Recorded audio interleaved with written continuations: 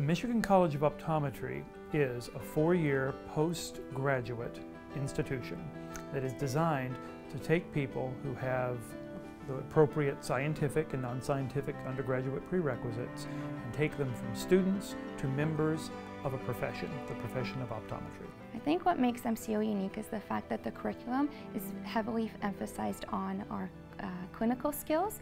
Uh, we start seeing patients in the second year of our program and um, there's a lot of opportunity to get involved um, in the patient case experience. There really is only the one program here at Michigan College of Optometry. We're very hyper-focused. We offer an optometry degree.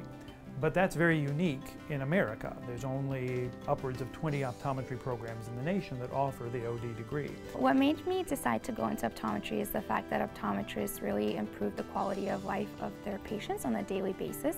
I think it's a fantastic profession uh, where we're able to have uh, a lot of impact on the patients that we see, whether, th whether they have systemic diseases that are showing up in the back of the eye or you know we need to provide them with glasses to help them see better. Optometrists do a fantastic job at making sure that their patients are taken care of. What drew me to the optometry program here at Ferris um, was really the facility that we have here. It's uh, a brand new building, only like five years old or so. And it just, it has everything. I toured around, checked out a few other schools, and I really fell in love with the building, the staff, and the faculty here. There's so many pharmacy schools, there's so many medical schools, there's so many, but there's none for optometry except at Ferris State University. One thing about, you know, being a student here is that it's a lot different than going to a lot of the other programs, you know, across the country. You know, a lot of these other programs are 120 students or 70 students or 160 students in one class. We have 38, so everybody gets to know each other really well. Um, everybody's really close together.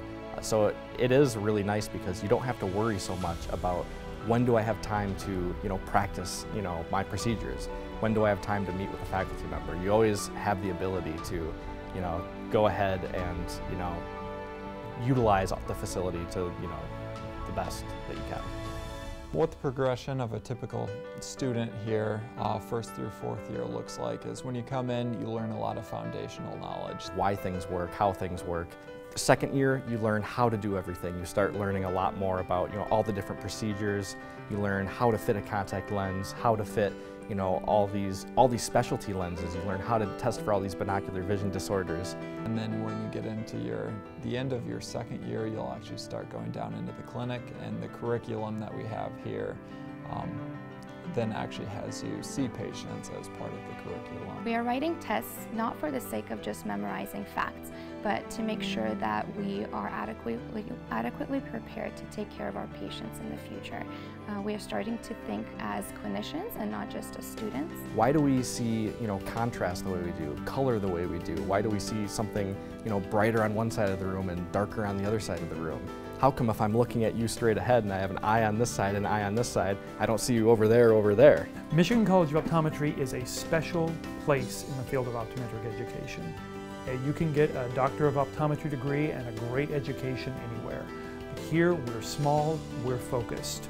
We like to welcome people in to become part of our family. And when people are into the Michigan College of Optometry, when students go through that process, everyone is really devoted to that one goal, which is to help you graduate and become the best doctor of optometry you can be.